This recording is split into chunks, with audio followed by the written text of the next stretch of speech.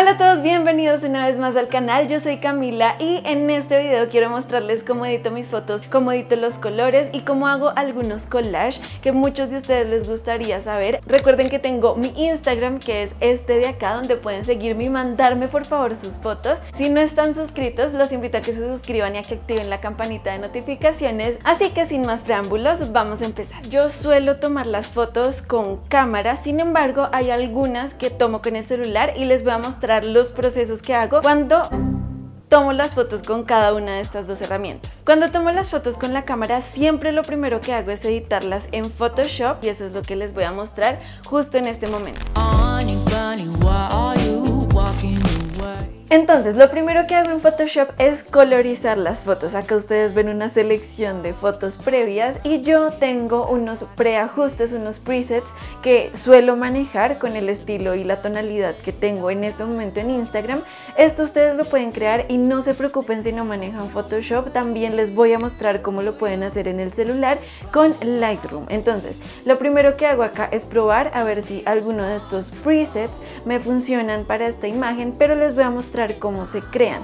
Lo primero que hago acá es balance de blancos y luego lo que hago es ajustar la luz porque ustedes ven que esta foto está bastante oscura. Aquí ya personalizo los colores, por ejemplo el amarillo siempre me gusta que quede un poco más cálido, igual bajo la saturación de los verdes, los rojos los intensifico mucho más porque me gusta que los labios y las mejillas se noten bien y así voy ajustando todo según la imagen que tengo. También me gusta ponerle un poquito de viñeta y básicamente eso es lo que yo suelo hacer. Ahora ya solo me queda guardar el preset, entonces le doy en save y ya lo nombro de una manera que yo pueda recordarlo y eso es todo, ya queda guardado, entonces si quiero utilizar este preset en otra foto, ya lo tengo listo para usarlo, pero recuerden que siempre a pesar de que sea el mismo preset, depende de cada fotografía porque no siempre están tomadas con la misma luz o con las mismas tonalidades en cuanto a ropa, entonces no siempre queda exactamente igual, por eso cuando manejen presets siempre deben intentar ajustarlos a la foto que tienen en ese momento. Y eso sería todo por la colorización en Photoshop.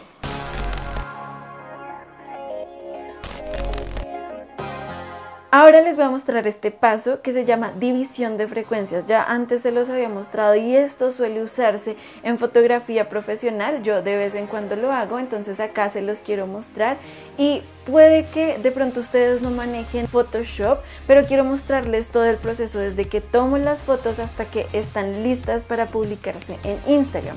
Entonces, estos son los ajustes que yo siempre, siempre manejo al hacer este proceso. Y acá lo que hago básicamente es corregir, por ejemplo, estas manchitas que tengo en el pecho, que no me gusta cómo se ven. También a veces lo que hago es corregir en el rostro si de pronto tengo una sombra que no me gusta, en este caso por ejemplo esta línea de expresión está muy marcada entonces la difumino un poco. Igual la zona de las ojeras siento que se ve oscura entonces quiero aclararlo un poquito. Y ya luego lo que voy a hacer es resaltar un poco más el maquillaje, el blush, el bronzer, resaltar las zonas altas del rostro. Y en realidad este proceso es muy corto, muy sencillo de hacer. No me extiendo mucho en hacer esto porque igual son fotografías que ustedes van a ver en Instagram entonces la calidad tampoco es que tenga que ser súper grande, pero a veces lo hago. Tanto la colorización como esta parte de corrección de piel cuando son fotos donde se ve el rostro y me gusta resaltar algunas cosas. Y ese es el proceso que yo hago en Photoshop. Y cuando tomo las fotos con el celular, la verdad es que omito este paso totalmente porque igual son para redes sociales, entonces la calidad no tiene que ser muy muy grande y eso es Entonces, una vez que ya la edité en Photoshop, ya corregí lo que tenía que corregir de piel, ya puse la colorización que a mí me gusta, lo que hago es pasar a Lightroom en el celular y esta aplicación ya se las he mencionado antes, siento que se acerca muchísimo a los programas de edición profesionales y que sobre todo no le baja la calidad a las fotos. Entonces, les voy a mostrar, aquí ustedes pueden hacer muchas, muchas cosas. Vamos a abrir esta foto, por ejemplo, y esta foto que ustedes están viendo acá, yo ya la edité en Photoshop, como les dije, esta ya tiene el proceso inicial. Entonces, lo primero que hago es abrir la foto y acá ustedes tienen algo que se llama perfiles. Yo tengo varios, les voy a mostrar acá un poco de los que tengo. Hay muchos, hay en blanco y negro, hay estilo vintage, pero el que yo suelo utilizar es este que se llama Moderno 8. Hay como varios sets. Bueno, el punto es que no se preocupen si ustedes no les aparece esta opción de perfil o si no tienen muchos, ustedes igual pueden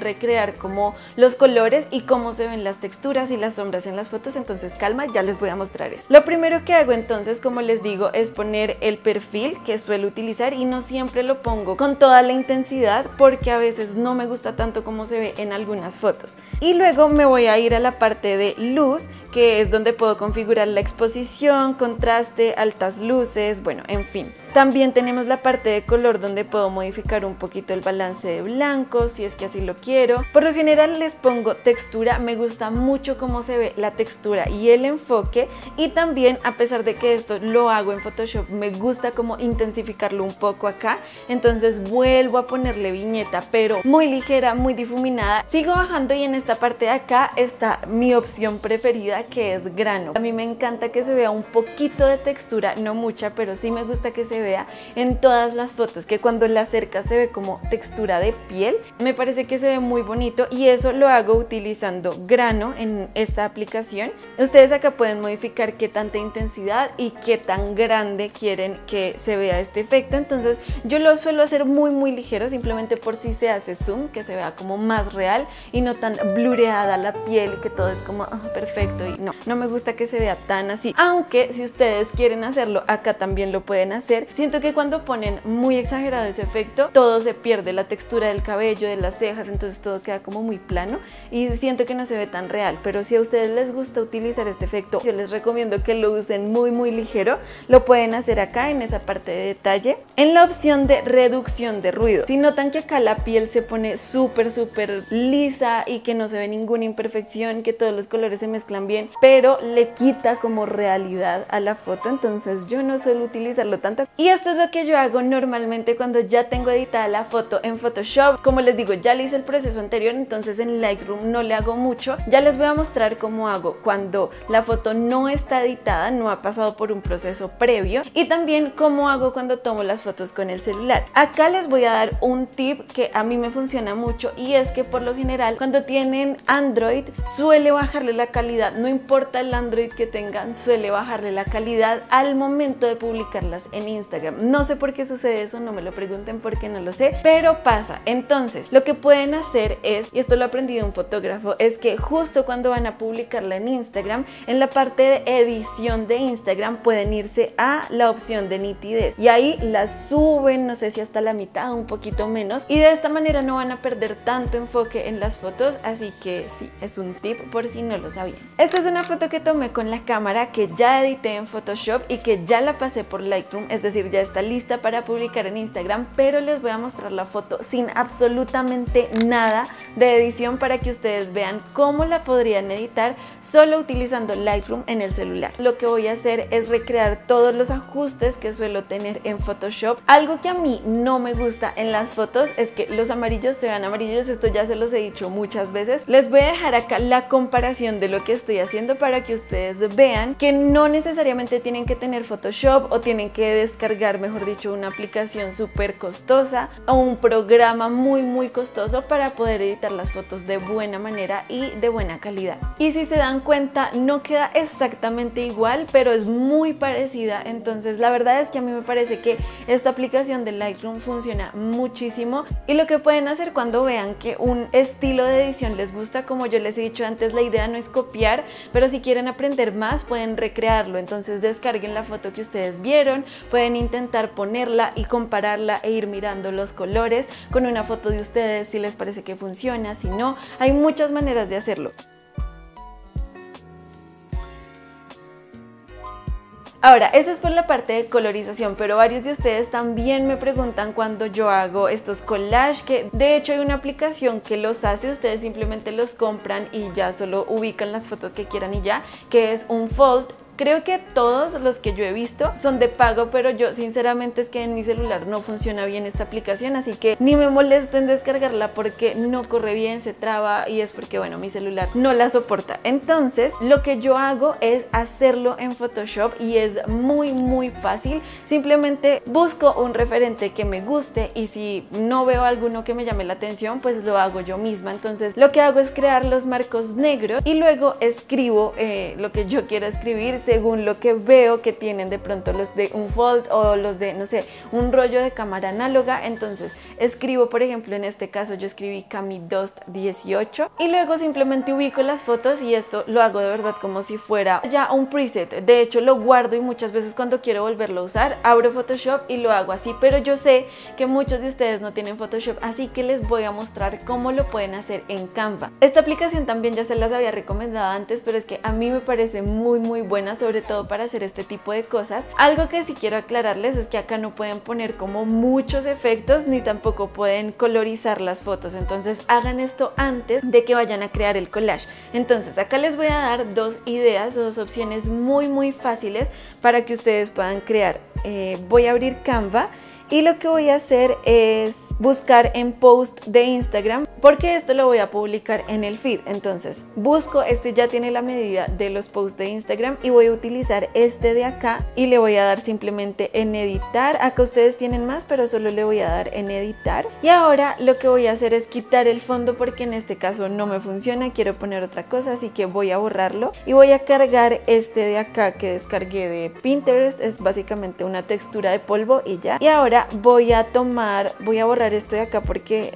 lo voy a reorganizar y voy a borrar esta foto que tampoco me funciona porque voy a poner fotos mías. Entonces, voy a ubicar este marco de foto Polaroid en esta parte que me parece que funciona bien. Acá lo que estoy haciendo es recreando esta foto de Instagram que ustedes vieron y les gustó mucho. Solo le voy a poner fotos distintas, pero ya ustedes tienen la idea de cómo se puede hacer. Ahora, cargo esta foto, por ejemplo, que es una que quiero subir y simplemente la ubico para que quede bien ajustada en la foto Polaroid. Y eso es lo que tienen que hacer básicamente copio esto y lo que hago es volver a subir otra foto, volver a ubicarla y así sucesivamente. En este caso se los muestro de tres, pero es lo único que tienen que hacer. En la foto que yo les publiqué en Instagram lo hice con nueve fotos, me parecía que se veía muy muy bien y esta es una manera en la que ustedes pueden hacerlo si es que no tienen Photoshop o no tienen un fold o no quieren comprar los presets que ya vienen establecidos para hacer esto. Y otra idea que es la que les mencioné anteriormente, la pueden hacer acá. Varios de ustedes me preguntan cómo la hice. Bueno, acá les voy a mostrar, no la hice en Canva, pero me di cuenta que ustedes la pueden hacer aquí. Entonces, igual voy a escoger alguno que me funcione, voy a borrar lo que no me sirve y voy a empezar a cargar todas las fotos en esta parte de acá.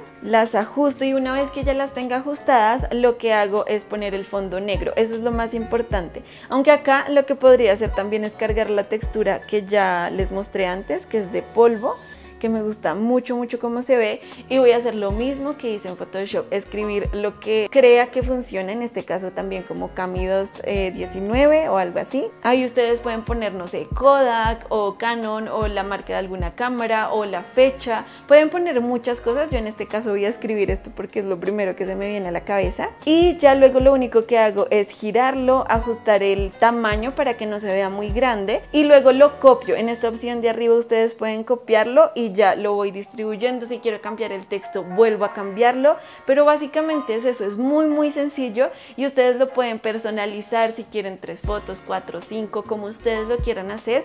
Realmente me parece muy fácil. Les quería mostrar esto por si es que ustedes no sabían hacerlo o no tenían mucha idea de cómo podían editar sus fotos. Sobre todo esto lo hago cuando tengo muchas fotos de la misma sesión que quiero publicar, pero no quiero llenar el feed de la misma foto. Entonces suelo hacer estos collages para mostrarles a ustedes y suelen gustarles mucho. Entonces, no sé, si quieren, por favor, inténtenlo. Si llegan a utilizar alguna de las ideas que les di en este video, por favor, mándenme sus fotos por Instagram que estaré muy, muy, muy feliz de poder verlas todas. Y eso es todo por el video de hoy. Yo de verdad espero que les haya gustado mucho. Es algo que me preguntan muchísimo, así que, no sé, espero que les sirva, que les funcione, que ustedes también puedan adaptarlo y personalizarlo a la manera de edición que a ustedes les guste. Y el viento está sonando muy fuerte.